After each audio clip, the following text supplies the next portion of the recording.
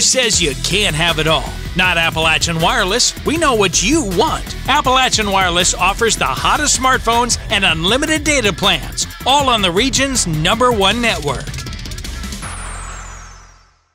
As anticipation builds for the Pikeville Farmers Market this weekend, organizers of the WIC and Senior Voucher Giveaway spent the day with Kentucky Agriculture Commissioner Ryan Quarles.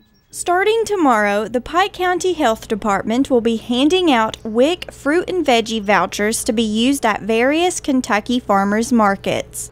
The vouchers can be used for fresh produce for anyone over five months old and already enrolled in the WIC program. It's so important that people help take care of themselves by eating healthy, and that means buying Kentucky Proud. And so we're very proud to know that Pikeville has a high utilization rate of both WIC and the seniors, seniors farmers market.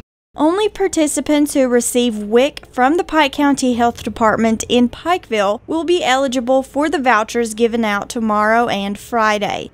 Farmers with the Pikeville Farmers Market will be at the Health Department tomorrow to offer a pop up market.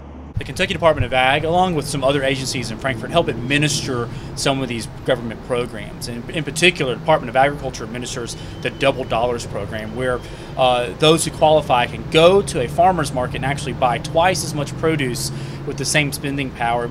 Those registered for WIC at the Pike County Health Department in Belfry will be able to pick up vouchers at the Belfry location on July 19th and 20th. Those who utilize these programs are making a proactive step to help better their health. And whenever you eat better, uh, it helps prevent issues down the road. And so we're happy that Pikeville continues to be a role model community when it comes to utilizing these programs. Saturday, the Pikeville Farmers Market will be distributing vouchers for qualifying senior citizens. In Pikeville, Shelby Porter, EKB News.